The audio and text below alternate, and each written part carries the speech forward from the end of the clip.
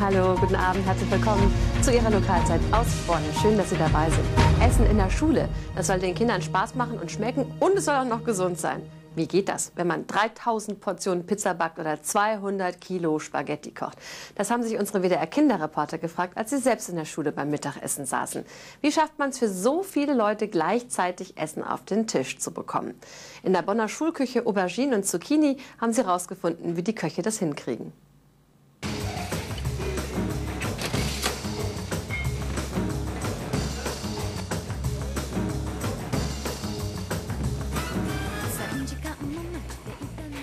Hier gibt es Essen für kleine Leute und ähm, das ist ja auch ganz viel Stress, weil die müssen für alle Schulen gleichzeitig kochen und, und wir wollen die jetzt mal nicht in Hektik bringen und schleichen uns jetzt rein. Hier in der Großküche werden jeden Tag für 100 Schulen über 3000 Essen gekocht. Und weil die Kindergärten und Schulen auch frisches Essen haben wollen, müssen sie schon ganz früh morgens anfangen zu kochen. Wie schaffen Sie das denn, alle 3000 Gerichte fertig zu kriegen? Ja, das ist schon schwierig. Ne? Also wir müssen wirklich sehen, wir arbeiten so lange, bis wir alles durch haben. Und es kann auch mal sein, dass es dann mal bis 6 Uhr abends wird. Aber äh, wir müssen alles fertig kriegen. Haben Sie schon mal was richtig versalzt? Und wenn was versalzt ist, was macht ihr denn dann? Wenn mal was versalzen ist, dann müssen wir es wegschmeißen. Ne? Weil es geht ja gar nicht. Den Kindern können wir ja nicht versalzenes Essen geben.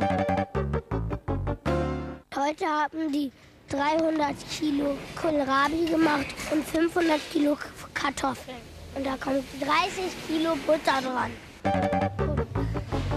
In diesen Kessel passen 150 Kilogramm Suppe und davon können 300 Kinder satt werden. Und mit solchen Riesenteilen werden, wird die Suppe dann umgerührt. Und wer von euch will jetzt Pizza rollen? Ich, ich,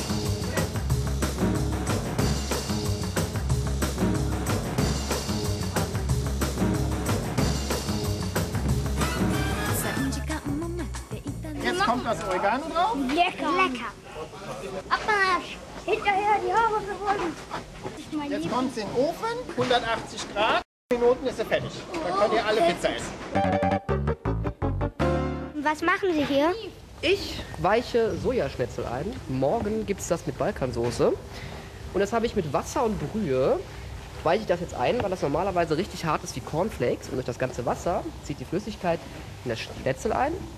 Dann wird das schön weich morgen sein. Wer denkt sich denn die ganzen Kochrezepte aus? Das macht unser Küchenchef. Gibt es denn auch Sachen, die man nicht für so viele äh, Leute kochen kann? Ja, wir haben jetzt hier das Problem, dass man überhaupt gar keine Pommes machen kann. Geht einfach nicht.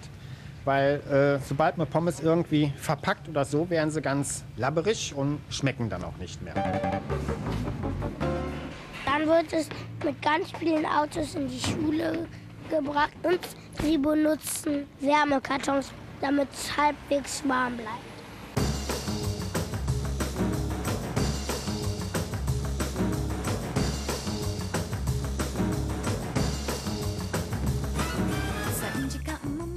Boah, und das hier sind 10 Kilo. Man kann sich gar nicht vorstellen, wie viel Erbsen da drin sind. Und da könnte ich ein Jahr lang von essen, weil ich Erbsen gar nicht so wirklich mag. Pizza fertig! Wow. Eins, zwei, drei, vier.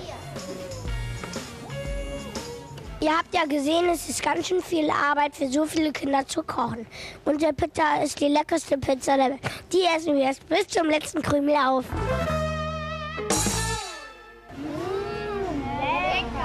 So viel von uns heute Abend. Bis morgen um halb acht zu Ihrer Lokalzeit und ich bedanke mich fürs Zuschauen. Schönen Abend noch. Tschüss.